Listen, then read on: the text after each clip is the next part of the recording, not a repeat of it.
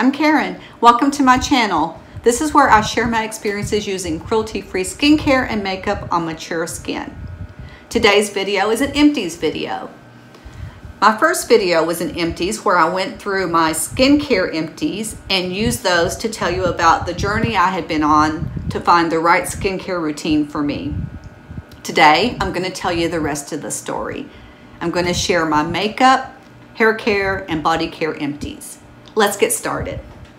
I'm going to start with the category that I have by far the most of, and that's mascaras. To start off, I'm going to tell you about some of the mascaras that aren't actually empties. They're going to go in the trash because I did not like them at all. First up is Pacifica Aquarian Gaze. This is a waterproof mascara and it is waterproof and that's the only good thing I've got to say about it. It didn't do anything at all for my lashes. It didn't give any length, volume, didn't, didn't even hold the curl, which is one thing that most waterproof mascaras do at least. It didn't do anything at all. It's going in the trash. Next up, Honest Beauty. This mascara actually has a primer on one end and the mascara on the other. And if I worked really hard and babied it and spent a lot of time on it, I could make this one look okay. But I don't have the time or the patience for that. It's going in the trash. Next up, this one was a big disappointment to me. This is the Essence Lash Princess. And I had high hopes for this one because I've heard so many people say they love this mascara. But for me, I just found it wet and cloppy and it just stuck my lashes together like three thick lashes. then it smudged and I hated it going in the trash. Next up, this is a mascara that I actually enjoyed using. This is the CoverGirl Exhibitionist Mascara. And this is a good mascara. It gave me pretty lashes. It gave me length, volume, held the curl, didn't smudge or flake. It's a good mascara. I was pleased with it. I may repurchase this one. I'm still on the hunt for something that can do all these things and give me some drama in my lashes, but I like this one. Good job, CoverGirl. Next up is a mascara that I have a love-hate relationship with. This is the Kush Milk Mascara. I love the way this mascara makes my lashes look. It gives me the best lashes I've ever had. It gives me long, thick, curled, black, beautiful lashes that doesn't even look like my lashes.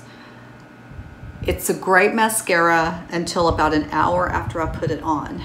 And then I have black flakes all under my eyes. And I tried everything. I struggled all the way through the entire tube of this mascara. I did use it up. And I could not get it to not flake. It just always did. Broke my heart. So after that experience, I decided to go on a hunt for the right mascara for me. And what I did was I went to Sephora and I ordered a bunch of minis. I'm going to do a, a, full video on my mascara my mascara struggles here in the future. So for now, I'm just going to run through these quickly and tell you what I did or didn't like about each one. This is the Too Faced Better Than Sex Mascara. Made my lashes beautiful, flaked everywhere. This is the Super Fan Mascara by Smashbox did what it says it does. It fans out your lashes. It gives holds the curl, gives good definition, but doesn't do much as far as volume or length or anything like that. This is the Urban Decay Perversion Mascara. This is a pretty mascara. It was a little wet for my liking. Um, it did give definition and length, not much volume, not much drama. I actually have two of this one. This is the IT Cosmetics Superhero. One of these I bought when I bought the Sephora Minis. This one um, I got as a birthday gift from Ulta last year. So, and I like this mascara. This is a good mascara. Um, nice length, nice, nice volume, doesn't flake, mm, not much drama.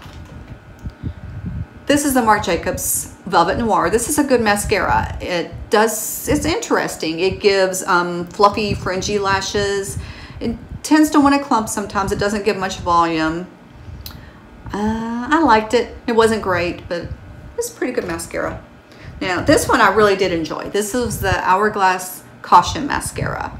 This one and the CoverGirl Exhibitionist are probably my two favorites that I've tried recently. This one gives length and volume, holds your curl, doesn't flake or smudge. Not a lot of drama and it's hard to take off. So I'm still on the search for my dream mascara, but that's what I've tried recently. That's my empties of it. Next up in makeup, I have the Urban Decay Primer Potion. This is a good eyeshadow primer. It was um, a little sample I got and I did, I it lasted quite a while. It A little bit goes a long way. I have no complaints about it except that I have found drugstore eyeshadow primers that I like just as well that cost a whole lot less. So I won't be rebuying this, but nothing wrong with it. This is a little well-loved Urban Decay 24-7 eyeliner pencil. This is in the color Mainline, which is my favorite color of the Urban Decay eyeliner pencils. It's a deep matte blue-green teal color that I wear a lot along my lower lash line. I like to put a color on my lower lash line and then um, a neutral eyelid. And this is great for that. I wear it quite often. I've got another one I'm using right now and I've got a backup of that color. Got quite a few other of the Urban Decay 24-7s, um, but this is, this is my favorite one. Here I've got an empty of the e.l.f. makeup wipes. These were fine. The price was price was right. Um, the quality was fine, but I'm not going to be buying any more makeup wipes. I don't see any sense in the expense or the packaging waste um, when all I do is use them to wipe away fallout. Um, I, I use my cleansers to actually take off my makeup. Nothing wrong with them, but I won't be repurchasing them. Let's move on to hair care. I have very baby fine hair that's straight with no body it's also color treated and um, I have an oily scalp. So I have um, some issues going on with finding that balance of hair care product that will um, clean my scalp and not dry out my hair and not weigh it down. I've been very happy with the Verb Ghost shampoo and conditioner. These products I've been using for quite a while now, over a year and I, I, I, alternate them with some other products, which I'll get into maybe in a later video. But these, these are great. These do really well for my hair. They clean my scalp and my hair, but they don't weigh my hair down at all. They don't strip it. They don't, um, they leave it shiny and soft. And I've just been very pleased with them. I also use the Verb Ghost Oil after I wash my hair. I'll put this in and it just, um, gives my hair a, a sleek, shiny, smooth look, no frizz, and really enjoy those products. I have an empty of Away Texturizing Hairspray. This product did nothing for my hair and it seemed like the bottle was empty in no time. It smelled great, but it didn't give any hold, didn't add any volume, didn't do anything for my hair. I bought this as a set along with the Ouai hair oil, which I do love and I am still using, and I do think it's worth the price because it goes a long, long way. But this, this I would not repurchase. This didn't do anything for my hair. This is the little sample size of the Moroccanoil Heat Protectant. And this is a great little product. I really love it. It smells so good and protected my hair, made me feel like my hair was was ready for um, for drying and styling. I haven't repurchased it because I am using another heat protectant right now, but I might repurchase this in the future. It's it's a great little product. Let's move on to body care. I'm going to start out with Neutrogena body oil. This is a channel where I share my cruelty-free skincare and makeup experiences. And Neutrogena is not cruelty-free, but I wanted to tell you about it because I think so many people choose not to switch to cruelty-free products because they're afraid they're not going to be able to find a replacement for their favorite products. And I understand that. I had that same experience. When I first made the switch over, I was happy with my replacements in pretty much every category, but there were a couple of things that I couldn't find replacements for right away. It took some time. And one of those was my body oil. I like to put just a couple of drops in my lotion after my shower and just it gives my skin a silky soft smooth glow that I really enjoy on my skin. But I don't like a heavy oil. I can't stand the heavy greasy feel. It's got to be a very lightweight oil. And that's what this one was. And I used it for a long time. This bottle, when I say this lasted me for years, it lasted me for years. Just, just a few drops in my lotion and that went a long way. That's a huge bottle. And it did take me a while to find a replacement for it. I did find a replacement though, and I have an empty of that here. This is the Jordan Samuel body oil. Now, I'm sure you're not surprised that Jordan's name has come up in one of my videos. It always does. But this body oil, it um, it's wonderful. It's a great product. I use it the same way that I used this one. Just a couple of drops in my lotion. This one has the most wonderful scent. Mmm, it's a lemony, just a fresh lemony, lemony scent. I've never been to Italy. Jordan says the um, scent is based on his time spent in Italy. I believe him. It smells wonderful. Um, I highly recommend it. Just a couple of drops in my lotion and my skin is just soft and glowy. Just everything I want from a body oil. And it's lightweight, not at all heavy, greasy, ever. So really, really like it. This is the current lotion that I'm using.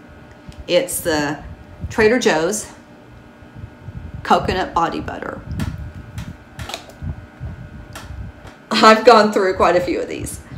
I really enjoy it. It smells good. It feels good. It leaves my skin feeling silky and moisturized, but not greasy or heavy. It um, mixes well with my body oil.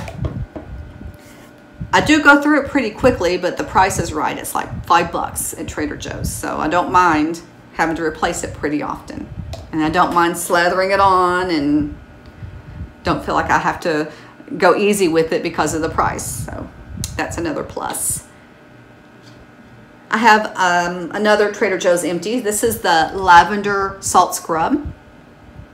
I enjoyed this. This lasted me a really long time because I don't use salt scrubs in my shower very often. I did like that one. It was nice. Um, during the winter especially, I used it on occasion if I felt like my skin was getting dry or itchy or needed some extra boost of moisture. But I um, probably won't repurchase it, at least not until maybe the fall because I'm just not really a, a scrub user in the shower.